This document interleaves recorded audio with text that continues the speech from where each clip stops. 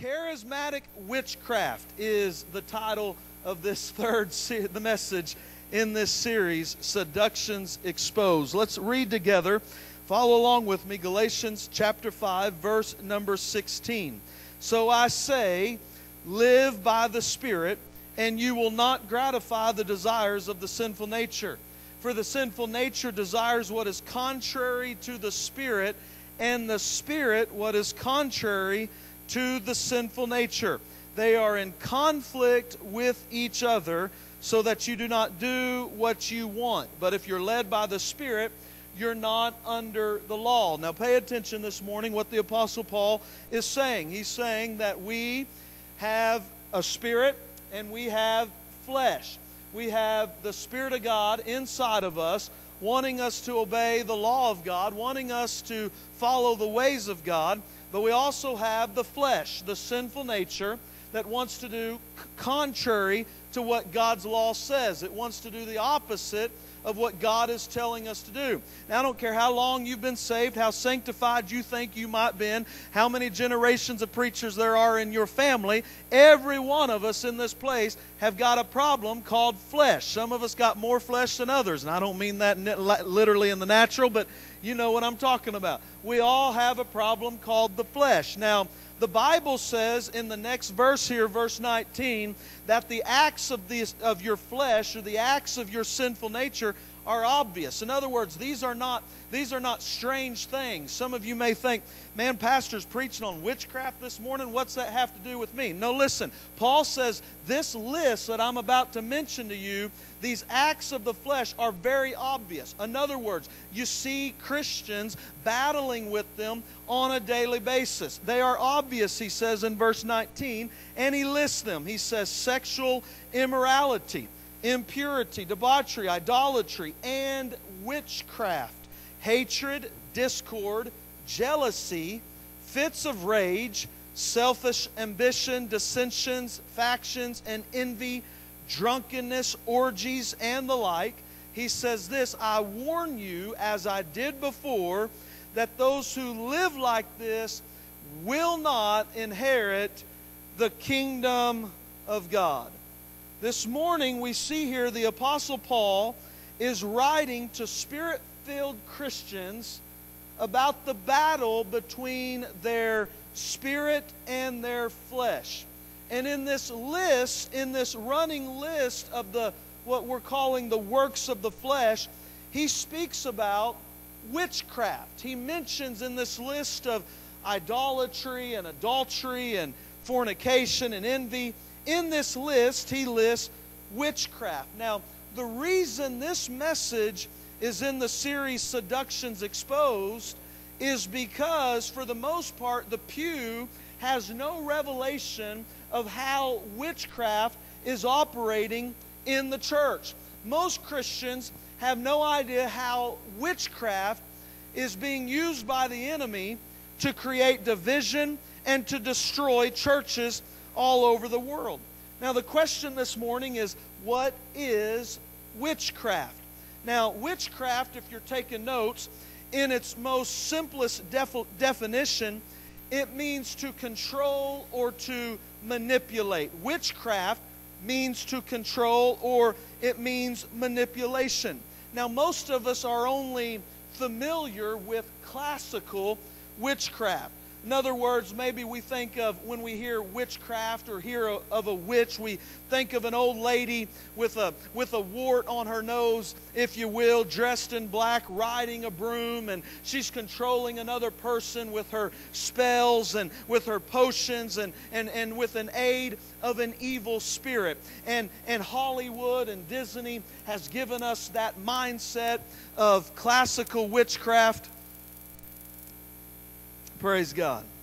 But Hollywood and Disney has given us this, this really false interpretation of what witchcraft is. This lady riding around on a broom controlling people with her spells and with her potions. But I want you to know this morning, as much as Hollywood has twisted witchcraft, classical witchcraft in its purest form is still a very real thing. Matter of fact, that word witchcraft comes from the word pharmakia, which we get our word pharmacy from. And if you'll think about drugs and different things that can control a person's mind, but classical witchcraft in God's word is defined as sorcery. It's defined as as uh, the the use of drugs or even the use of spells being used to control or manipulate. It can be used. Witchcraft is is often described in God's word as the use of evil uh, occult powers, evil, dark, demonic powers, the powers of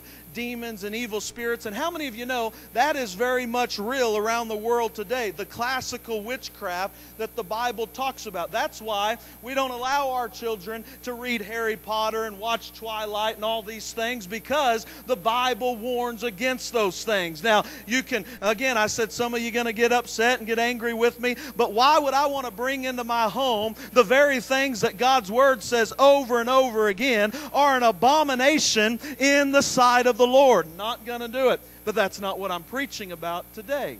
I'm preaching this morning on charismatic witchcraft. Now, I'm using the term this morning, charismatic witchcraft, to describe, follow along, take notes if you're a note taker, to describe any misuse of spiritual or soulish power in order to manipulate and control others. I'm going to say that again so that you get it here this morning. I'm using the term charismatic witchcraft to describe any misuse of spiritual power, any misuse of soulish power in order to manipulate or control another person.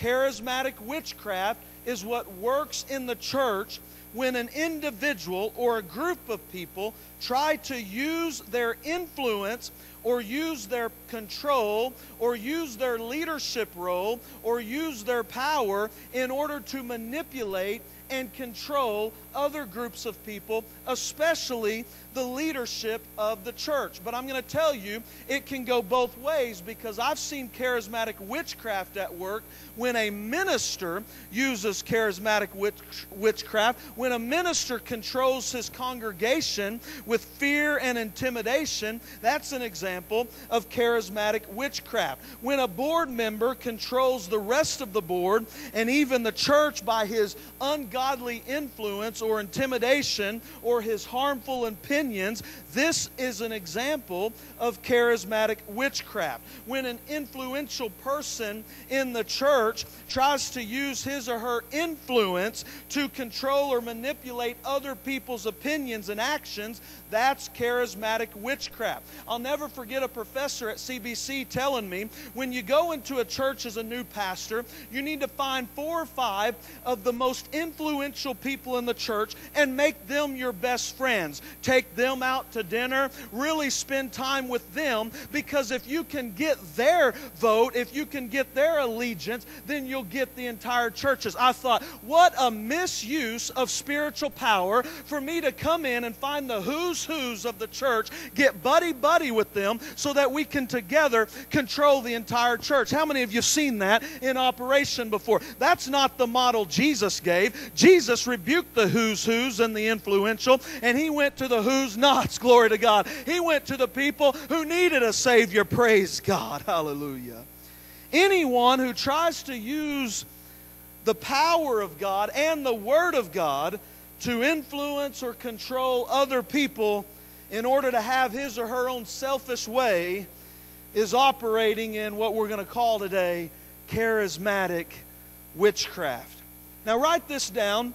Charismatic witchcraft uses the works of the flesh and a false spirituality to gain influence and power over others. Let me say it again so you can catch it today. Charismatic witchcraft uses the work of the flesh and a false spirituality to gain influence and power over others. I want to read again this week from 2 Corinthians chapter 11, verse number 19. The Word of God says, It says, You gladly put up with fools since you are so wise. In fact, you even put up with anyone who enslaves you or exploits you or takes advantage of you and pushes himself forward or slaps you in the face. To my shame, I admit that we were too weak for that, God's word says. Paul was saying, You foolish Corinthians, you, you foolish Corinthians who you're allowing carnal, you're allowing worldly men to enslave you and bring you into bondage unto themselves. Now, that word here in, in uh, 2 Corinthians 11, bondage, comes from the Greek word katadulu, which means to enslave or bring the mind under another person's control. This is the bondage that the Apostle Paul's talking about. He says, You're foolish because you've allowed someone else, you've allowed another person operating in witchcraft, possibly, but you've allowed a false teacher, you've allowed another person's influence to bring your mind under their control, and it's enslaved you. It's brought you into the word he uses here, it's brought you into bondage. And then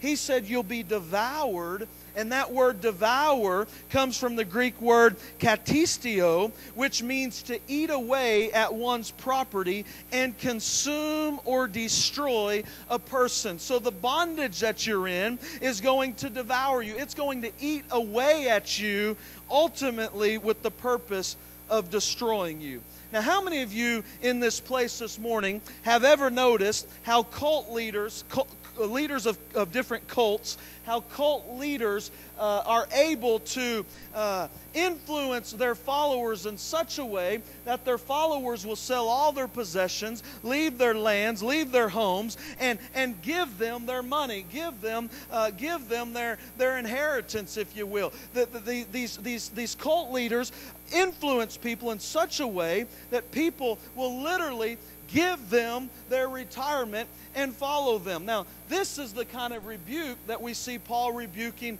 the people for. Paul was rebuking the Corinthians for allowing false apostles and leaders to control and to manipulate them. Now, I, I used to wonder how cult leaders could absolutely control and devour their followers. Most of you probably remember the story of Jim Jones and, and remember the tragedy uh, that, that happened as a result of the witchcraft that was in operation. Jim Jones, who was Pentecostal in some ways, he, he, he somehow or another caused his Christian followers to drink the, the poisonous and deadly Kool Aid and history tells us that 914 people died because of that man's control and manipulation. Y'all remember a few years back, David Koresh in Texas who believed he was the Messiah. And, and, and part of his false teaching was that he was the husband to all, to all these women. And he was even married to underage women and, uh, and, to, and to young girls. And, and he caused his followers to be burned alive in the name of Jesus Christ, including 20 children who were burned alive on that horrible day in Texas.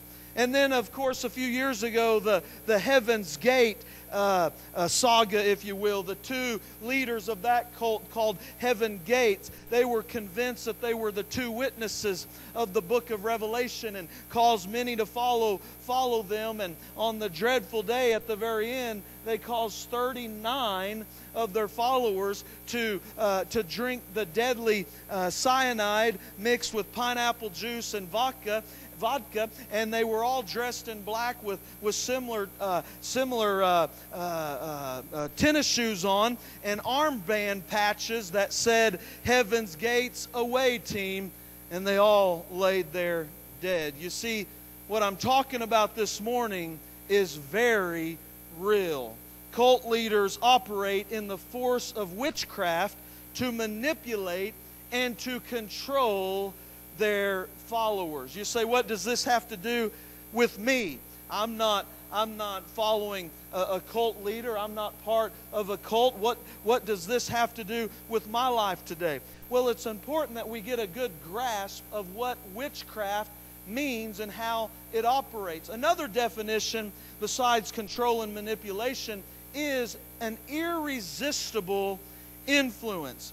It's one person or a few people influencing the rest for their own selfish purposes. Listen to me, moms. mothers can be used in this work of the flesh called witchcraft when you're trying to control your own grown children. That's the flesh of witchcraft operating in a very negative way. I've seen employees use witchcraft against their against their bosses. They use a negative spirit over their bosses to get their own way, to, to do what they want. They they rebel uh, or, or whatever the case may be, operating in a spirit of witchcraft. But how does it work in the church? I'm going to give you some examples of how charismatic witchcraft works in the church and if we're not careful, it will work right here and can work right through your life. Matter of fact, I have never seen the, the, the, the, the, the misuse of spiritual power.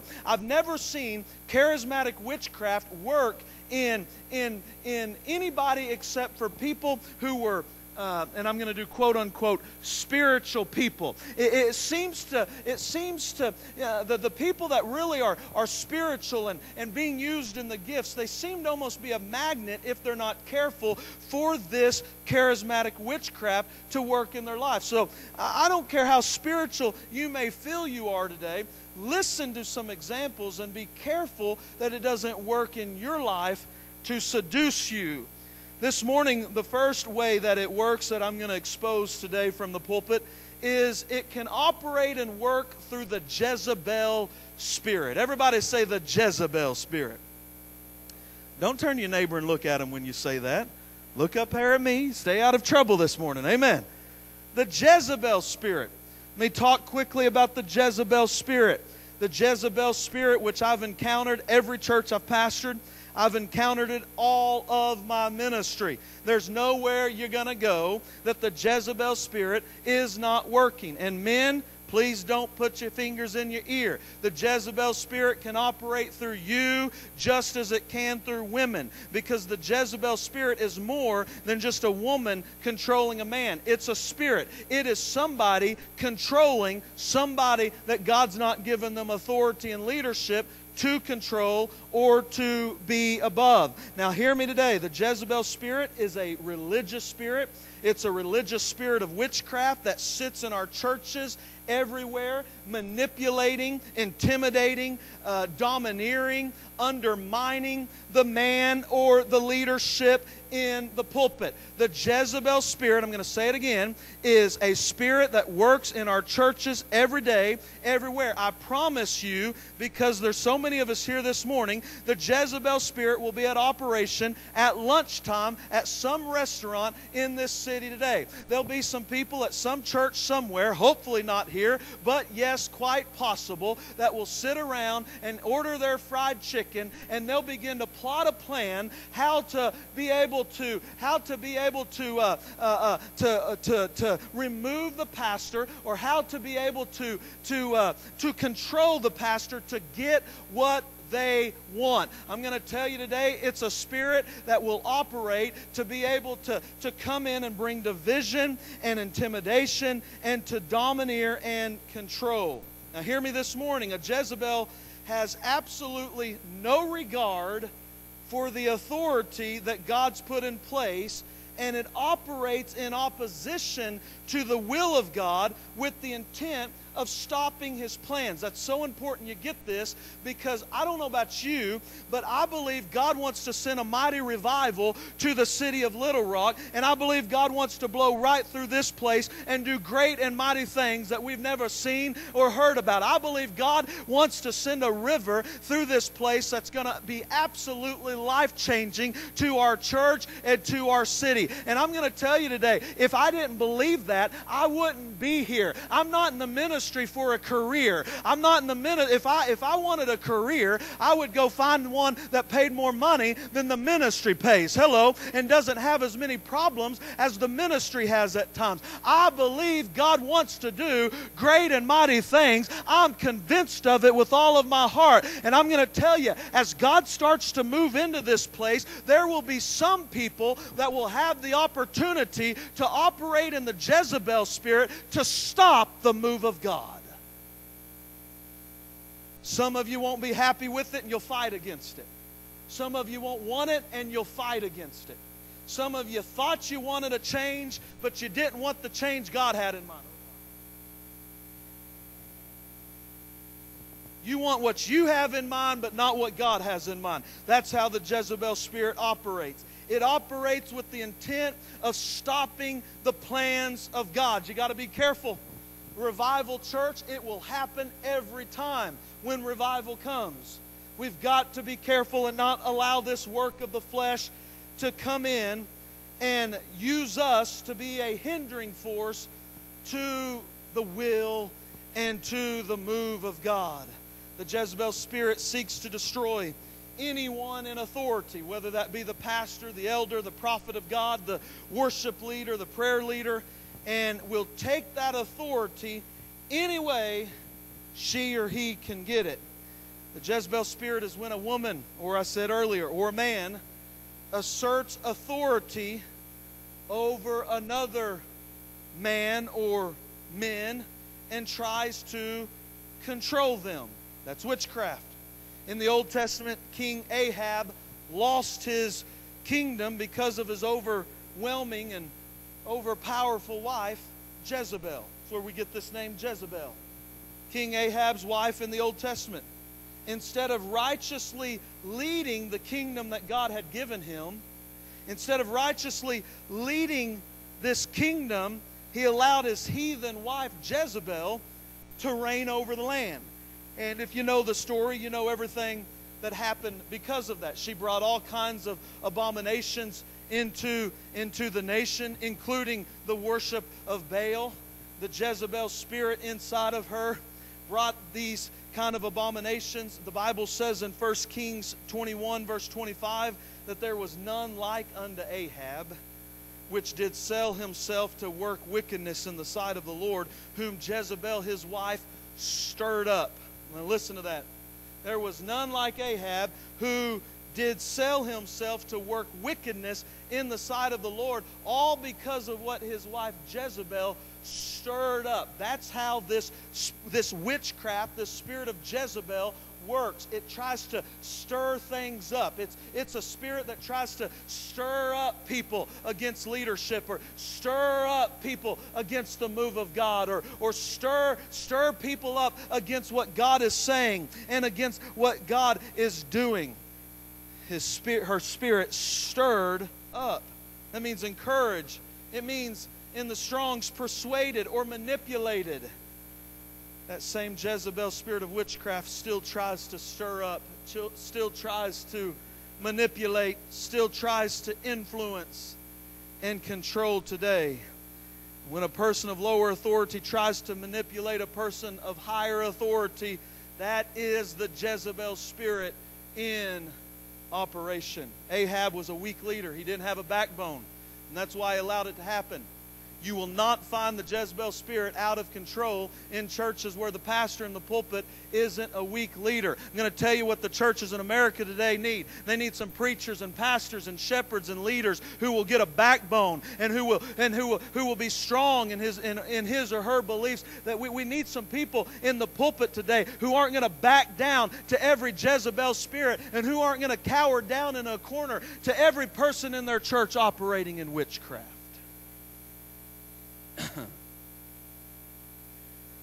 because of its need to control, it can only operate effectively when Ahab's weak leaders are present. Listen to me today. Please listen to me. Some people's commitment to the church, some people's commitment to their leadership role or whatever it may be, is only as strong as their ability to be able to influence and be able to rub shoulders with leaders or their ability to control what happens at that church. But thank God, God restored her, set her free, and, and, and used her in that ministry because she was very good at it. But some people, you begin to take their control away and they give you bye bye.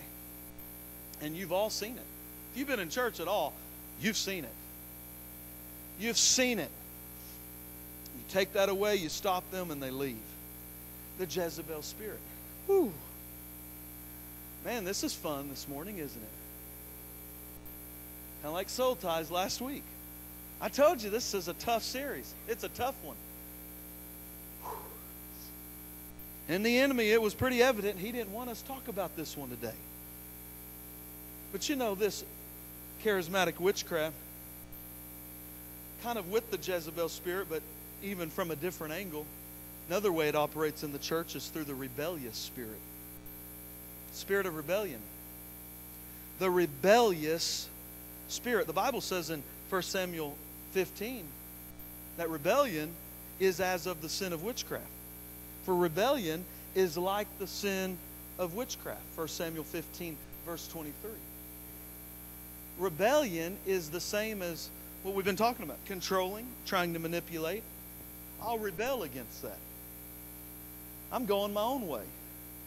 I'm rebelling against leadership. I'm rebelling against the Holy Spirit. And we see here that Saul, Saul became both rebellious and arrogant. He became rebellious and arrogant, and God, leave, God finally rejected him and took away his kingdom. How many of you see what this happens when the witchcraft spirit's operating? Kingdoms get lost. Churches die.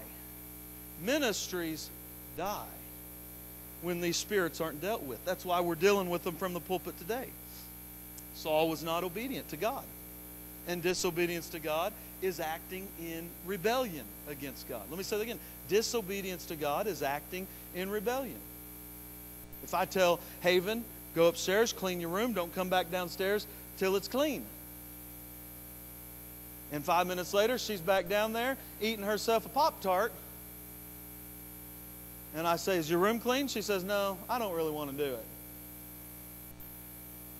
It's like she asked me, she asked me not before last, she said, Dad, what do you want for Christmas? I'm getting y'all's Christmas presents ready.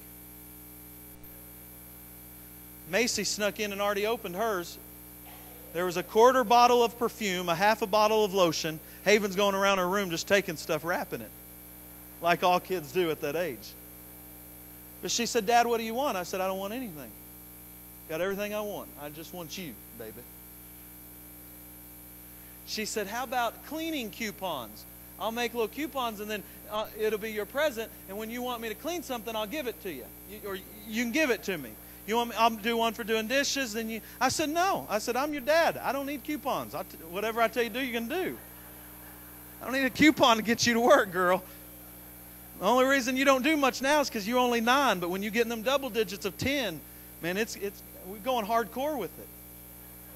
She said, how about, how about back rub coupons? I said, no, same thing. If I want you to rub my back, I'll tell you to rub my back. Save yourself the time and effort. Crystal told me, she said, do you know what she wrapped, uh, made for you? I said, what? She said she made massage coupons for you. And they're all six hours apiece. And she told Crystal yesterday, they were out shopping. She told Crystal, she said, Crystal, or she said, Mom, she said, she said, Mom, I've never rubbed dad more than a minute. I don't know if I can make six hours. Crystal said, Honey, I'll give you some money and we'll get your dad a present. But she comes downstairs and says, I don't, I don't, I don't I'm not going to do it. I don't want to. She's operating in rebellion. That's a rebellious spirit. She's choosing to do what she wants to do rather than what leadership or her authority, her father, has told her to do. Now, when you hear the word rebellion, I'm sure there's many things that, that come to mind. Images of revolt, maybe chaos, people acting in a dis, disorderly manner. Rebellion comes in many forms, but listen to me today. There's a common form that runs through all forms of rebellion. And it is the resistance to instructions. Resistance to instructions. When people when people choose to rebel against leadership and established ground rules for conduct. This is this is the rules of my house. This is how we operate. This is this is what's going to happen here. When people choose to uh, to rebel against those things, they set themselves up for failure. Did you hear me? It's the same thing in the church house. There's going to be rules in this church house. There's going to be things that you will not be permitted to do. And when you choose not to do those things, or when you choose to rebel against leadership, you're going to fail every time. And unfortunately, your failure may be destructive. Your failure may hurt. Hello now. Your failure could cost you your life. Have you read the Bible? Have you read the Old Testament about how many died because of rebellion? It's destructive. God honors those who honors his rules. Have you ever met anyone in the church with a rebellious spirit? Church is headed for revival, one person doesn't want it. I always found it interesting. It's time to build a new building. We vote. One person will be against it. 99% for it, 1% against it. I always wonder who this one person is. How, are the, how is 99 out of 100 of us in agreement? And there's one person. Now, I've met that one person before. Here's what they've told me. Well, Pastor, I just feel like there needs to be at least one no. What spirit are you operating in? I mean, wouldn't it be embarrassing to be that one person?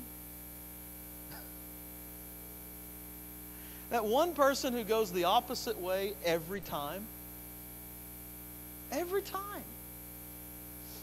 Psalm 68, verse 6 describes the con- consequences of being rebellious. It says, God sets the lonely in families, He bringeth out those which are bound with chains, but the rebellious dwell in a dry land. To dwell in a dry land is to live a life that is marked with spiritual and natural drought. From a spiritual perspective, this means the blessing, the wisdom, the supernatural power of God is, is disrupted in your life because of rebellion. In addition, rebellion opens that door for physical destruction. And I wish I could tell another story here, but it's it, it's almost some of you go.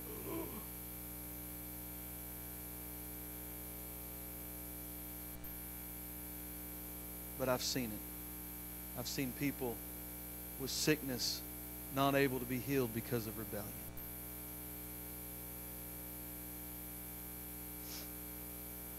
Last but not least this morning, how witchcraft works in the church. Through the spirit of Jezebel, through the rebellious spirit. And I hope you're checking yourself today. But last, number three, is through abused and misused gifts. Abused and misused gifts. Romans 11 29, hear this, says the gifts of God or the callings of God are uh, uh, irrevocable. The gifts of God, the callings of God are irrevocable. God doesn't take them back. If God anoints you to preach, you will, you will be able to preach all your life. Even if you fall into deep sin, you can preach. He doesn't take them back. I've had people say to me when, when, they've seen, when they've seen someone fall, and, you know, we used to gasp when a preacher fell, a famous preacher. Now it happens every day. Not much talk about it. But I've heard people, even, even back to Swaggart, and, and I'm not talking down of Swaggart at all. I believe he had the ability to be restored just as any one of us who have sinned.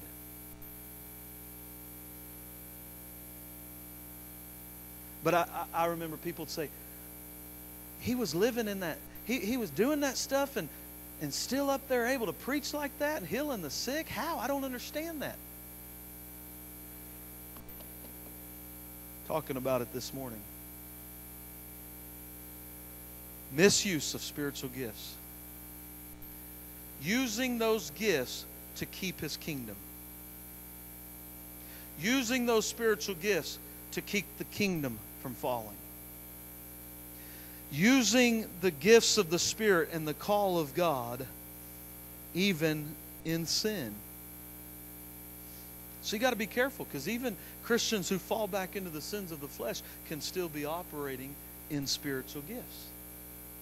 That's something. They can still be demonstrating spiritual gifts. And sadly, some Christians will use, hear this, this is where we got to expose this seduction. Some Christians fall into using their gifts for their own benefit or their own financial gain or self glory.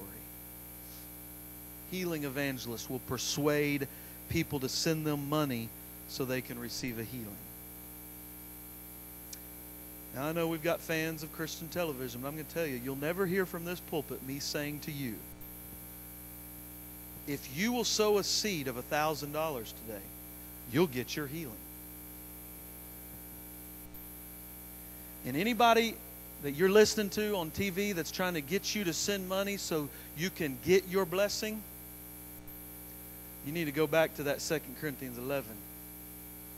Realize you're being devoured. They're taking advantage of you for their own glory. They asking for your money, and you ought to see what kind of house they're living in.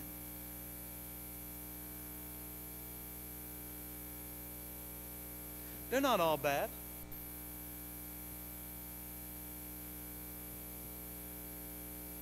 But there's a bunch of them out there. They wolves in sheep clothing. You don't have to buy your miracle. It's already been paid for.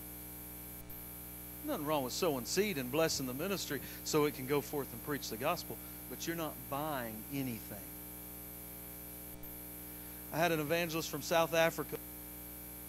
Before, before the first service, we started that Sunday night. Before it started, we were in my office, and I said, Let's pray and pray for the service tonight. We were praying for the service, and I said, uh, I said, Got you your microphone. He wanted a certain kind of microphone. Got you your bottle of water. Anything else you need for the service?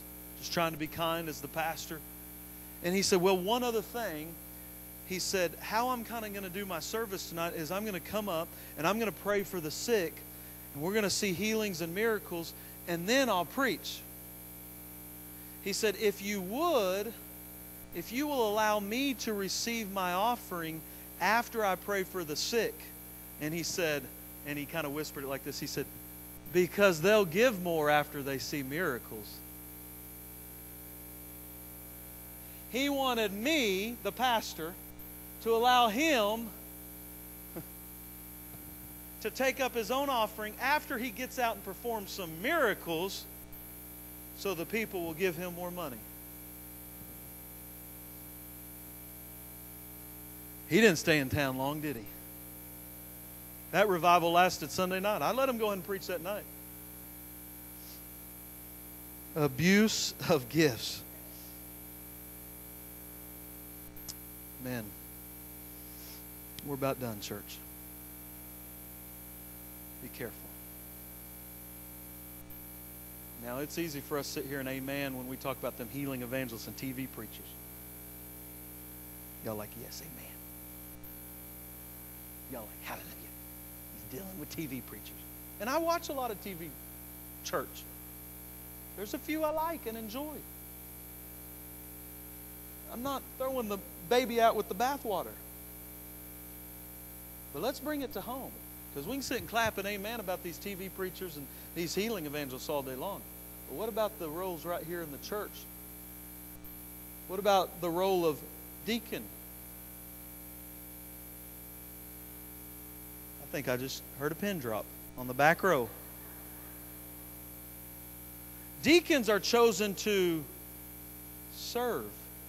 You know the word deacon means servant? They are chosen to help visit the sick, care for the widows, and so on, not control the pastor. Well, I can't wait till the next election because I'm going to I'm going to rally votes to get on that deacon board because if I can get on that deacon board, I can put a stop to all this. And listen, if you're newer to the church, I'm not preaching stuff because we've got issues here with our current deacons and leadership role. What I'm preaching is to help us keep from ever allowing that to happen. Hello? we got to be careful. Misuse.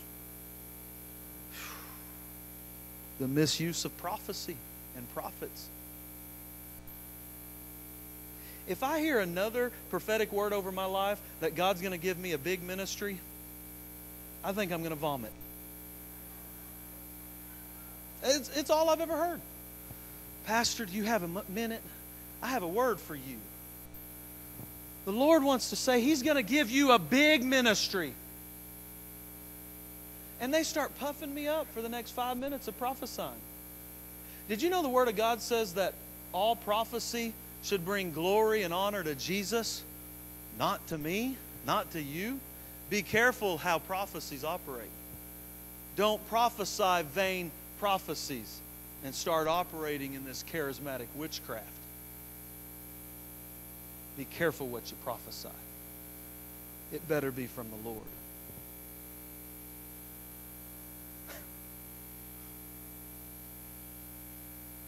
You know what? I, how about this one?